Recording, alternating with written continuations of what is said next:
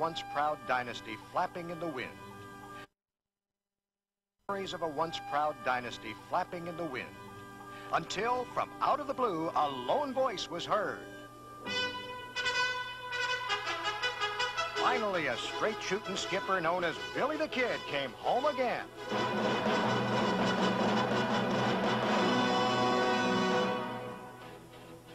And with him came a brand of fundamental baseball called Billy Ball.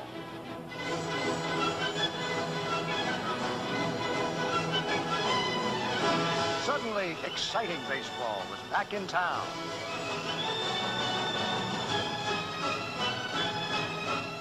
And A's fans back at the ballpark. The story of Billy Ball was soon telegraphed across the majors from west coast to east. A story some people found hard to believe, but a true story. It all happened in the year 1980 in the city of Oakland. Incredible, but true. The 1980 Oakland A's. From the East Bay came news that caught the baseball world by surprise. Owner Charlie Finley had hired Billy Martin to manage the Oakland A's. Good news for Northern California, but what about the new manager? What did he have to smile about when the A's opened spring training? Here was a club laughingly known as the Triple A's, a team which had lost 108 games. But Billy Martin showed no concern for past history. To third base. He wants the third baseman to feel the ball. Hey, Lee. The manager talked, and his young players listened, putting their minds on baseball and striving to ignore past failures or rumors of whether they'd be playing in California or Denver. If one of baseball's greatest managers saw no reason to fear the future, why should they? What we have to do is play together as a team, which they're doing here in spring training, and uh, I think the personnel I have in this ball club is going to surprise a lot of people. We have a very good chance to come in first place. We're going to go after the California Angels and beat them out of it. Well, people mostly laughed at statements like that. After all, championship aspirations were supposed to be a thing of the past. Still, some curious fans did show up when the defending champion Angels came to town. Billy's boys quickly fell three runs behind in the opener of the series. But Wayne Gross, one of many young veterans raised in the School of Hard Knocks, knocked one out to put the A's on the board.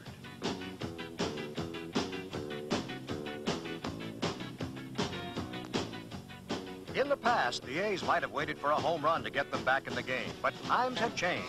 Martin didn't believe in waiting. Flash a sign and make something happen was the new idea. Dwayne Murphy got the message, and with a man on third, proceeded to put to use one of his spring training exercises, a picture-perfect squeeze bunt and a tie ball game.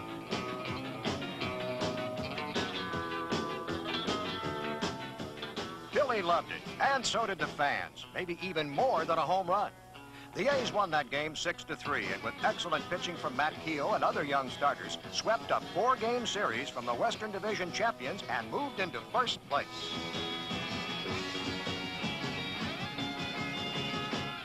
Suddenly, the A's were no laughing matter. Survival of the fittest was now the issue when the rivalry picked up again in Anaheim. But for the young A's, the lesson continued. Listen and learn. Pitchers like Rick Langford were learning that if they kept throwing strikes, the team would back them up in the field.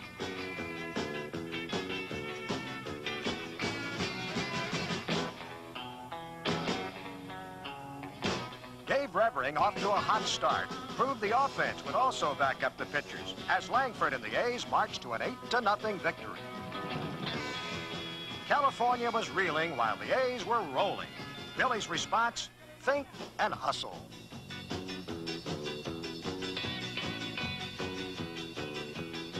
The A's won the first two in Anaheim, giving them six straight wins over the club Martin promised to go after. California never really recovered in 1980, but the A's were only beginning to learn the basic principles of the game, becoming known as Billy Ball.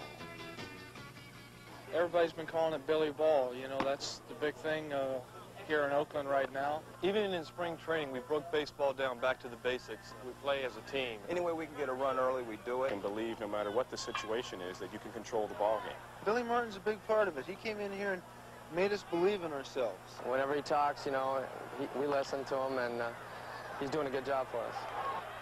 Residents of Northern California were also beginning to believe in the A's.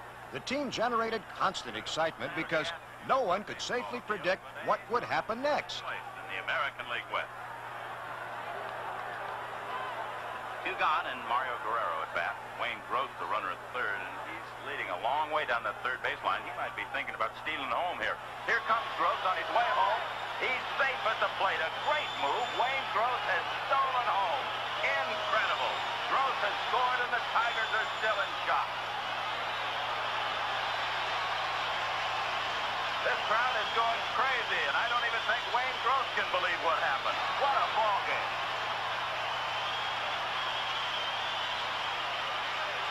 The bases are loaded, and Tony Armas, the A's leading RBI man at the plate. You wouldn't think that the A's would be thinking steal again in this spot with Armas up here. But Murphy has a long lead down the third baseline. And here he comes. He's heading for the plate. The pitch gets away. He's safe at the plate. And now Mitchell Page is trying to score two. The throw, it's in time, and Page is tagged out at the plate. Unbelievable what the A's have done here today. Two steals in the same game. It's incredible. Incredible indeed. Few could believe the results of playing Billy Ball by the book. First place in the Western Division in Maine. Everyone was confounded at this new brand of baseball stampeding the West. Especially amazed were opposing managers.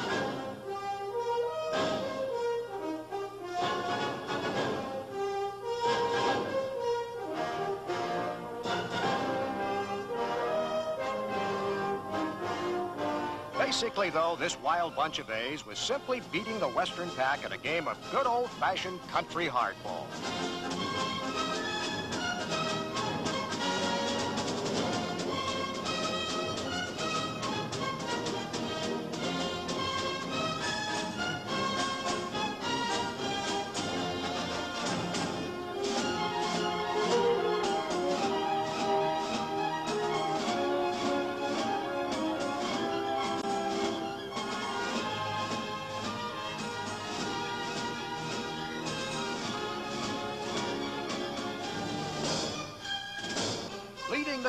A budding young star named Rickey Henderson. Who says you can't steal first? Henderson did by hook or crook. Also stole second, third, and home.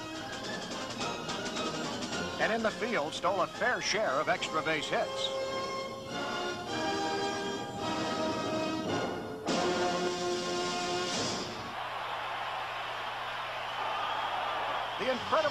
Of the amazing young A's traveled throughout Northern California as well as the local Bay Area. The A's were clearly back on track, and the fans came marching in.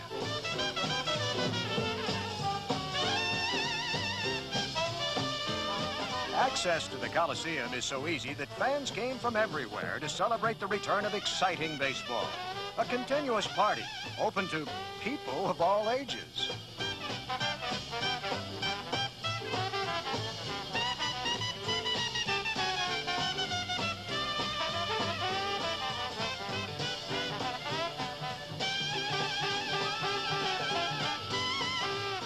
This happened in my home area and uh, made me a lot, lot happier to see the fans come back out here again. That's, that's my biggest joy, seeing that the fans are participating now and enjoying themselves at the ball game. They're coming out here and they're seeing baseball is exciting and baseball is fun and winning is fun. The A's had undergone a transformation, and so had fan spirit. Though the team fell from first in June, record crowds came out to see their new heroes take on former A's star Reggie Jackson and the New York Yankees. We wanted to win because of Billy. You know, he wants to beat the Yankees, and so do we. Plus, we're going to draw over 125,000 people here for the, the weekend series, which will be the largest in the history of the Oakland A's. The challenge of the Eastern teams opened with a memorable twilight doubleheader. Managing in the Yankee dugout was an old friend of Billy's, Dick Howser. And Billy was proudly wearing the green and gold. Ron Guidry, who received his break under Martin, was on the mound in the opener. Billy tried to beat him with a steal of home, but the Yankees knew his ways. The score was tied until the bottom of the ninth when Mickey Klutts, a former Yankee, tried something different.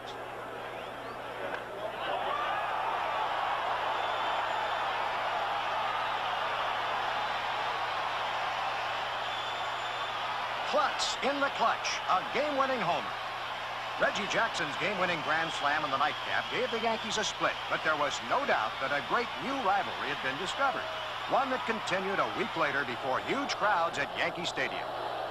But the vast legion of Martin fans did not improve his fortunes against his former team. The Yankees took two out of three in New York.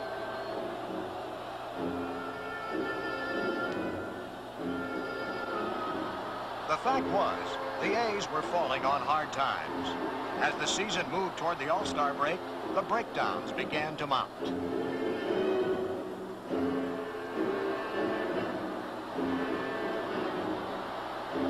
The precise execution of Billy Ball was taking its toll on a young, inexperienced club. The A's slipped to fourth, 11 and a half games out. Early season skeptics were not surprised. Surely, they claimed, the A's were now falling to their natural level of incompetence.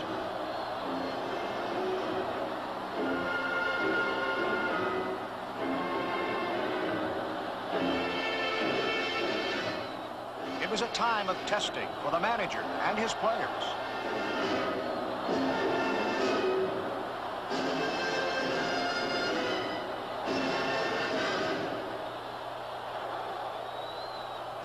Reaction, the same as always. Don't keep your frustrations inside. The A's were all in this thing together and had to keep battling. Baseball's a crazy game. There's no time to mope around if you want to come out on top. I've always been crazy, but it's kept me from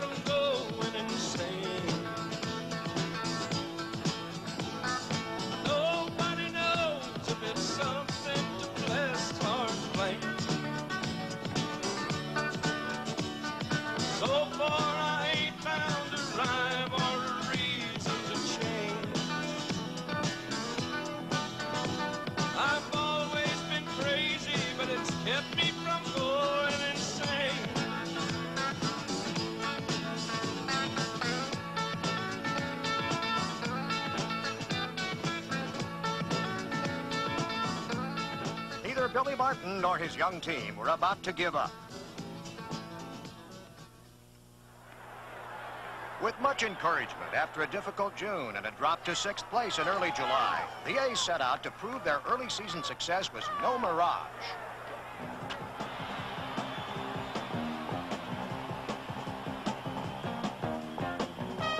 The time had come to reapply the basic principles of Billy Ball. Time to shake up the opponents, and shake them up they did.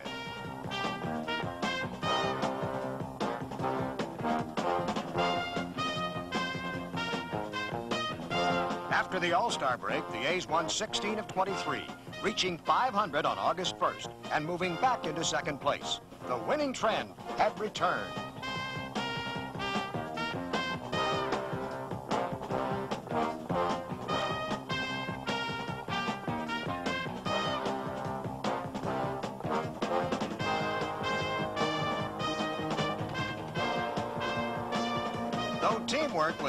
To victory, individual players were now making their names known throughout the league. Starting pitchers were receiving the most recognition. Billy Martin and pitching coach Art Fowler had molded a shaky staff of starters into the league's best. Matt Keough lost 14 straight in 79. In 1980, 16 wins, the league's fourth best earned run average, and 20 complete games. Art Fowler and Billy Martin came along and uh, told me in spring training, you know, I was going to win 15 or 20 ball games for them. And when you're 2 and 17, that's kind of a revelation. And uh, I believed it, and I felt good, and I had a good spring, and uh, I came out won my first three ball games of the season. And so did Mike Norris and Rick Langford, and it kind of started a, a thing that later snowballed into a lot of complete games and a lot of successful organization. Rick Langford pitched from mid-May to mid-September without help from the bullpen. Langford led the majors in complete games with 28, and the American League in innings pitched. His 19 victories ranked fifth in the league, and his earned run average, ninth. But the biggest surprise, Mike Norris, from 5 and 8 in 79 to 22 and 9 in 80. Also second in the league in strikeouts, wins, ERA, complete games, and Cy Young Award balloting. Mr. Norris even won a gold glove. You have confidence in your ability first inning through the ninth and you know that you're going to go out there, you pretty much you're going to be in that ball game at the end, and that's just got to give you a lot more confidence. Add starters Steve McCatty and Brian Kingman, and the bullpen had to wonder, what are we here for? Incredible as it seemed, Art Fowler's pitching staff still led the league in earned run average. Of course, pitchers need defensive support, and got it from baseball's flashiest young outfield. Rickey Henderson in left. Dwayne Murphy in center. And in right, Tony Armas. They could all go get him.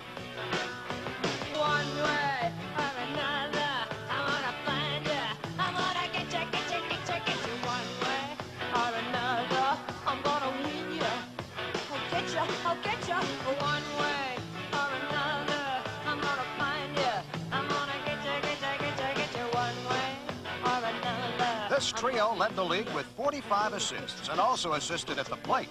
Henderson hit 303, drew 117 walks, and was the only man in the majors to get on base more than 300 times. Murphy drew 102 walks and applied the soft touch to move runners and get on base. And power-hitting Tony Armas brought them all around like a windmill, driving in 109 while belting 35 homers. Fans and team alike were now realizing that the A's were not only able students of Billy Ball, but a team loaded with great young talent. Talent which could compete with anyone. On August 25th, the Yankees returned to the Bay Area in the heat of their own fierce division battle and ran into trouble. The A's forced their hands into making mistakes and took both games of a short but sweet two-game series. Martin's troops again wreaked havoc on the Eastern race a week and a half later in Baltimore, where the Orioles had picked up a full head of steam in pursuit of the Yankees. Billy said hello to his old rival Earl Weaver and then gave him a taste of the A's new wave style of baseball.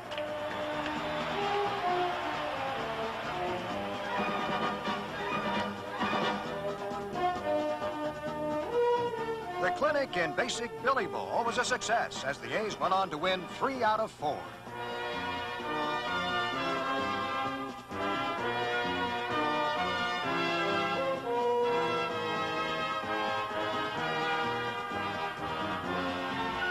Steve McCatty went all the way to win number 11 in the finale, giving the A's a record 78 complete games in a 162-game schedule.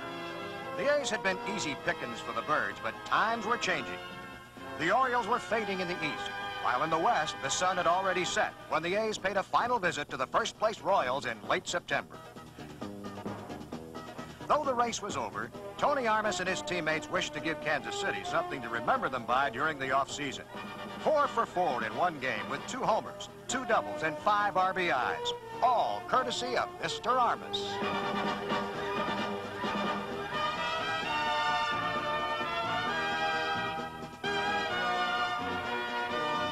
Also in one ball game, four stolen bases for Rickey Henderson. The A's scored 18 runs in their last two encounters with the Western Division champions, raising their season record against the Royals to 7 and 6. Oakland picked up seven and a half games on KC in September, playing only two and a half games behind the champions after the All-Star break, and finishing a solid second with an 83 and 79 record, an improvement of 29 victories in one year. Incredible but true. The sudden flight of the Amazing A's was baseball's top story of 1980. One that started with the arrival of Billy the Kid, the American League's Manager of the Year. To thank him for bringing winning baseball back to town, the Bay Area paid him tribute on Billy Martin Appreciation Day, lavishing him with gifts. Oh, so many gifts. But perhaps the biggest gift of all was Billy Martin teaching a group of defeated young players to believe in themselves. Given confidence, individual A's achieved a turnaround no less incredible than the team itself. Consider the brilliant success of Mike Norris, who had won only 12 games the previous five years. Or 16-game winner Matt Keough. Only 2 and 17 the year before, but now among the top pitchers in the American League and selected as 1980's comeback player of the year. How about Tony Armas, who in three seasons never hit more than 13 home runs, then hit 35? Or Dwayne Murphy, a virtual unknown, a gold glove winner. Then there's Rickey Henderson, who at 21 became the first American leaguer ever to steal 100 bases. Finally, Rick Langford, who after averaging only six complete games a year, went the distance 22 times in a row, and that's more than any pitcher in over 50 years.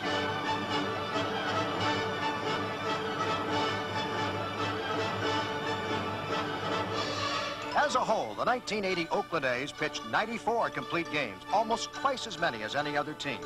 And the staff ERA dropped from next to last in the American League to first. What a difference a year makes. But the biggest difference was that the fans were assured that the Oakland A's were here to stay. The A's success story did not escape the attention of the local business community, which quickly took steps to make sure 1980 would be no flash in the pan. When Charles Finley sold the team in August, new owners Walter J. Haas and Roy Eisenhardt pledged full financial support in the organizational foundation necessary to complete the work of bringing an American League pennant and World Series championship to Oakland. Incredible, but true. 1980 only marked the beginning of a new era of celebration for everyone throughout the Bay Area. We bought this team with a commitment to bring the American League Championship to Oakland where it belongs, and we will do that. We know that things are going to improve. We know we're going to improve as a ball club. Uh, conditions will improve. I think we, we play an exciting brand of baseball now, and even that's going to be improving. One thing the Bay Area people will do, they will support a winning ball club. I think they're going to put a lot of money into it, and I think the fans are going to come out and support the team. Going to put another flag up there on that flagpole. We're going to win. We're going to be young, we're going to be fast, we're going to be unpredictable, and we're going to be exciting. The A's are going to get it done in 81.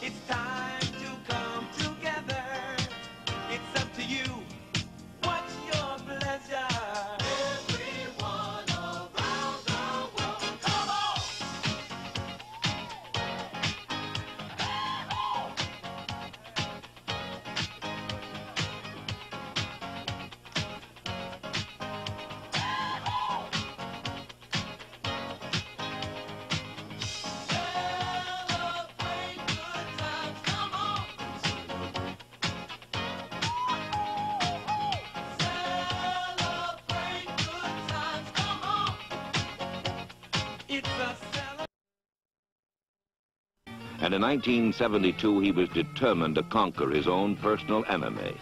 For without him, the Jets had little chance.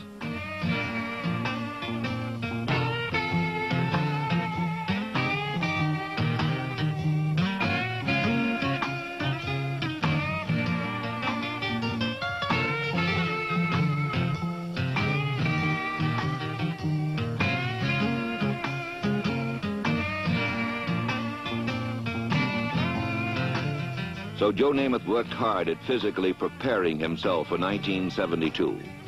But as he evaluated the season ahead, he knew this was not the same team that had tasted the wine on Super Sunday five years ago. The Jets are today a different team. A team in transition with only 11 remaining from 1968. A team that has been fighting a war of attrition ever since.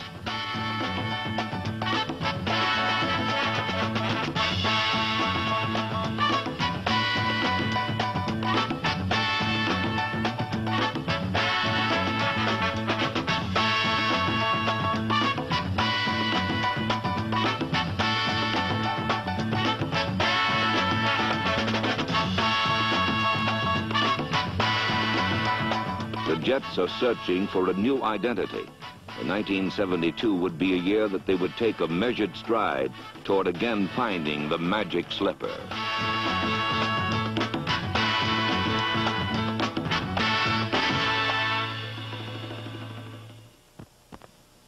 One reason why you may want to consider mutual funds today.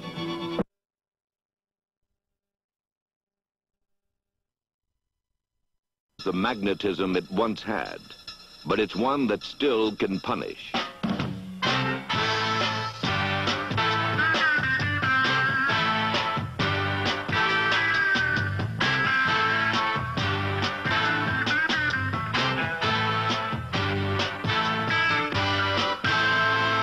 Ravaged by age and injury, today the Jets rely on talent like number 50, Mike Taylor. Number 56, Paul Crane. Number 85, Ed Gallagher.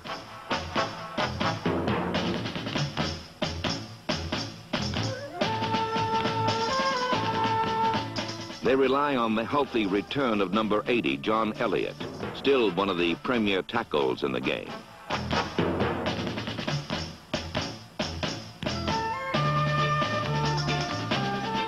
They will count heavily on number 87, Richard Neal, acquired from the Saints in an off-season trade. An imposing 6'3", 260-pound defensive end with all-pro potential.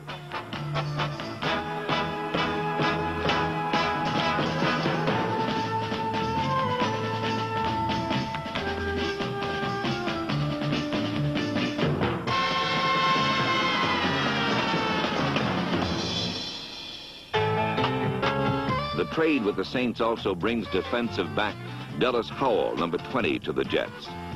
Howell adds depth to a secondary that averages only three years' experience.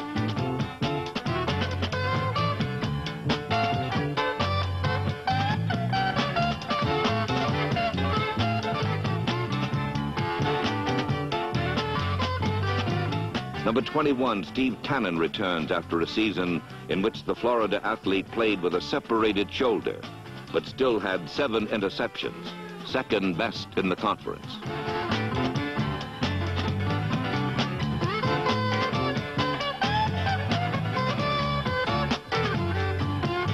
Earlie Thomas, number 45, is the dean of the jet set and continued to perform well at corner.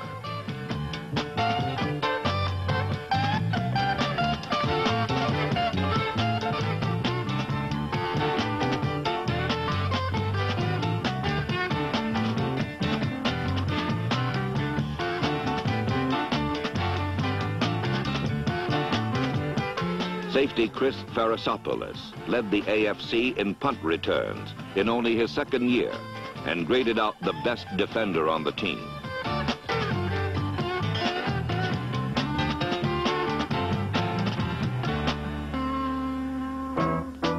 It was young Farasopoulos that led the defense in some of their better moments.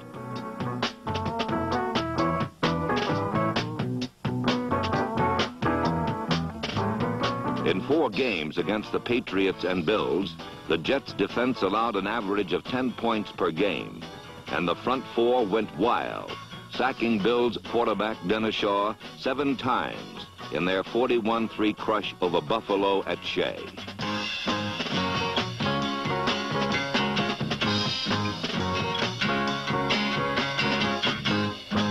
While the defense counterpunched away in these four victories, Emerson Boozer delivered the knockout blow in each. Boozer had a magnificent season in 72, leading the NFL in touchdowns with 14. Nine of them came in four games against the Bills and Patriots, in which he was unstoppable.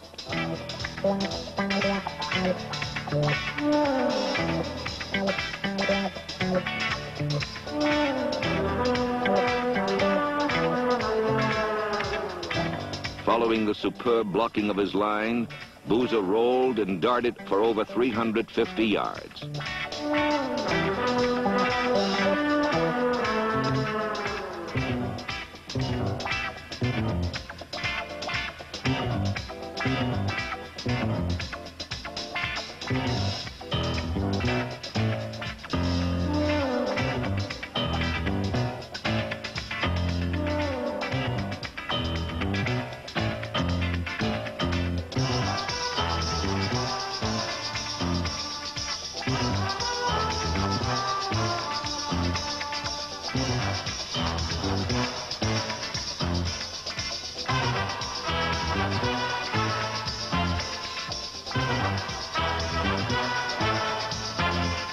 Instrumental in all of the Jets' victories in 72, Boozer solidified his position as one of the outstanding backs in football.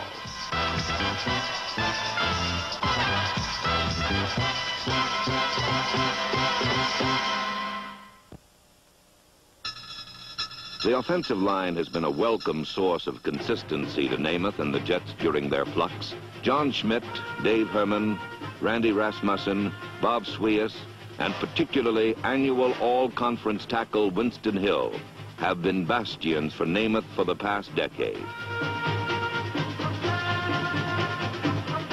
Under great pressure to protect football's most fragile knees, this line has never failed and has been the catalyst for a recent resurgence of green and white ground power.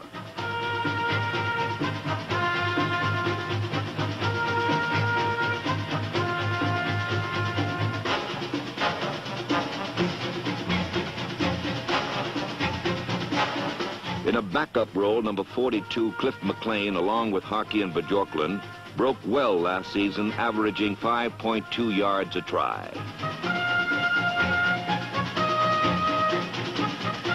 McClain was a valuable reserve, but the brunt was borne by Boozer and New York's own Brahma bull, John Riggins.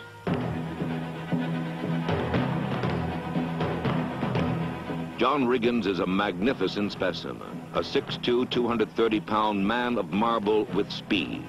The perfect power-quick back who will get you five or ten and break one more than occasionally.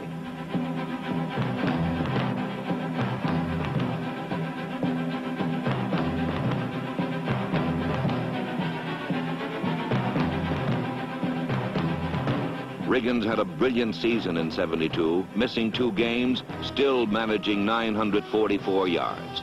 Four short of Snell's club record, 56 short of a 1,000.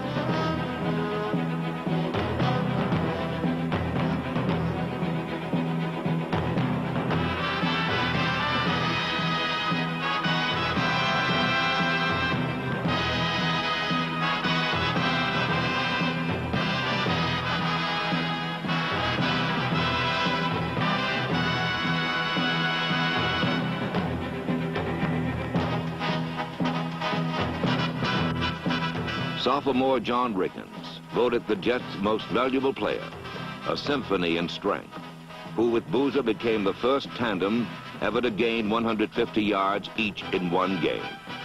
The Jets' backfield should be solid for years to come.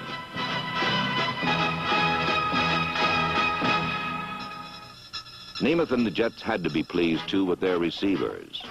The flea number seven, Eddie Bell, skidded and scat 18 yards every time he caught a pass.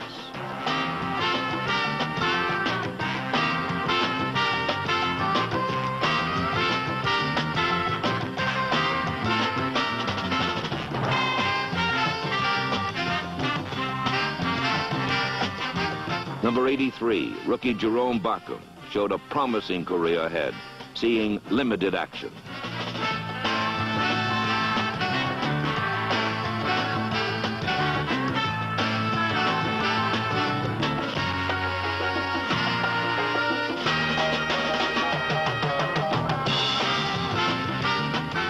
Number 13, Don Maynard, has given his guts to the green and white, and 14 years of run and catch have made him the most prolific receiver to ever play the game. Tight end Rich Caster is just at the threshold of his career. In 1972 was his best season yet. A Pro Bowler, Caster led the conference in yards gained and touchdowns with 10.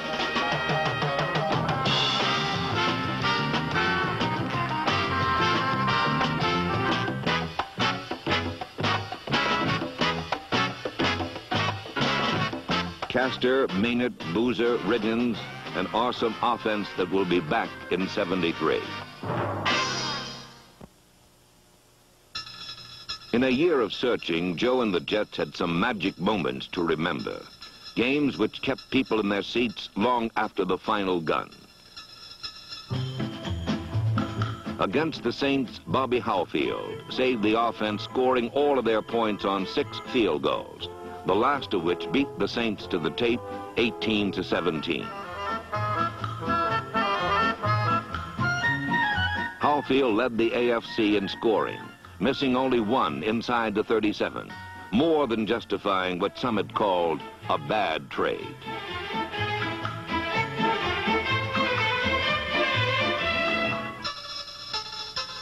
In Miami, the green and white almost dealt the Dolphins their first and only blow of a super season.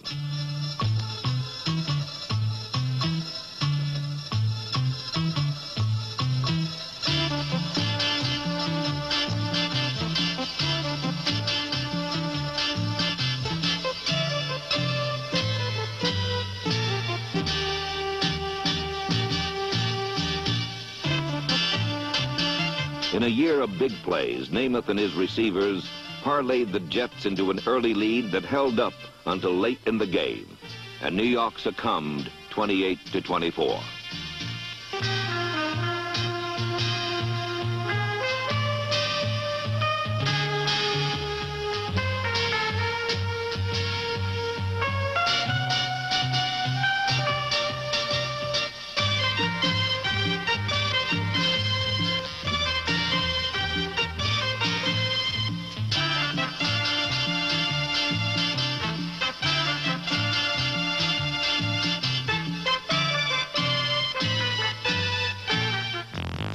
Jets Colt series already has a rich tradition behind it, and last year's games did nothing to damage it.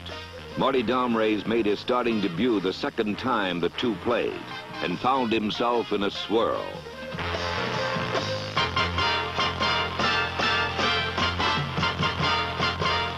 The Jets took a two-touchdown lead on the exciting catches of Rich Caster, the remarkable running of John Riggins, and the superb play calling of Namath.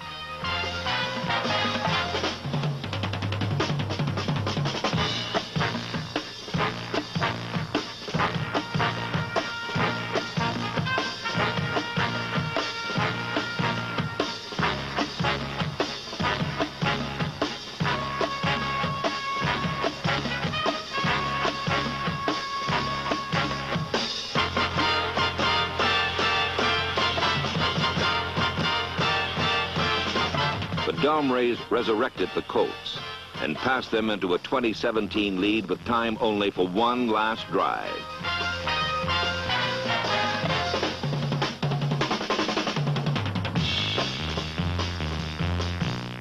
Namath went for it all, a 50-yard prayer.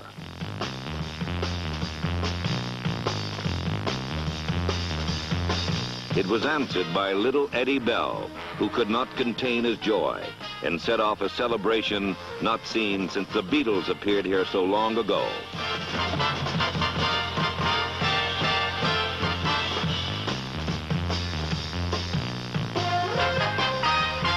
How sweet it was.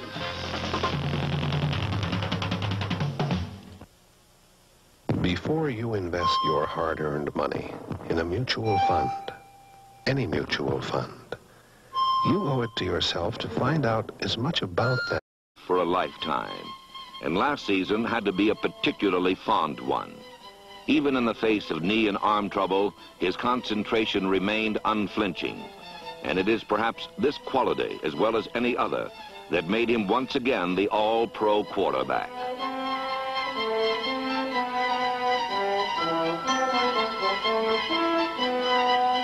Were many magic moments for Namath last season, but two occasions stand out in which Joe gave his team, his fans, and his game performances which will never be forgotten. Before a nationwide TV audience, Joe Namath riddled the Oakland Raiders secondary for 400 yards, time and again finding Don Maynard in the soft underbelly of the silver and black zone, helping Maynard become the league's all-time reception leader.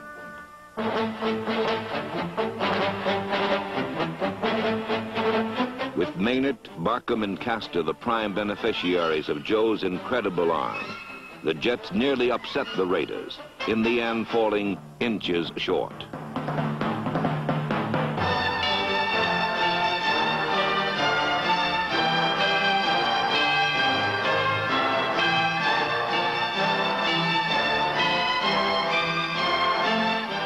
400 yards and two touchdowns against Oakland helped Namath to lead the NFL in yards gained and touchdowns passing, while he also became only the third quarterback in history to throw for over 400 yards twice in one season.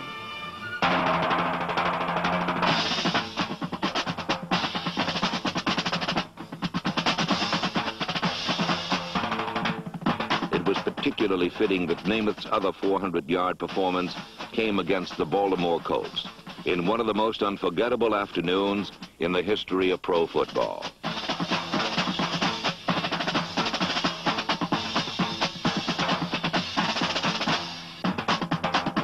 This was the man Namath idolized as a kid, the man who now has only a few games left in his once impeccable right arm. And he saved one for the Jets.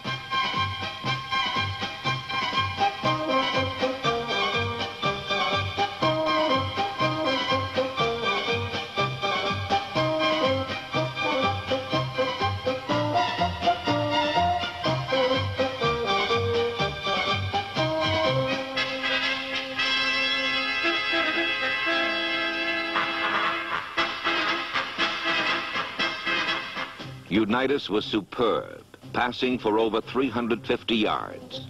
But the teacher would not match up to his protege on this day, and perhaps never will again. For this day belonged to Joe Willie Namath, and for one brief shining hour, Baltimore's Memorial Stadium was his Camelot. You could almost tell from his first pass of the day that you were about to experience something special. The way his passes, time and again, found open areas in the historic Baltimore zone.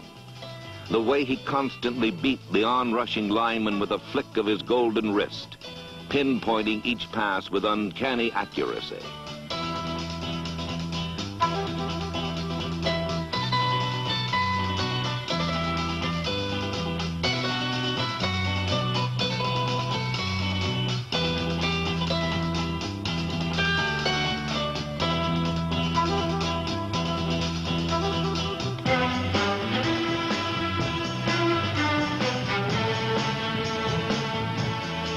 The way he smelled out different formations and beat them with three first down passes that Rich Caster carried to the end zone. Six touchdowns, 496 yards, the third best in history, while Namath and Unitas combined for the most yards ever gained passing.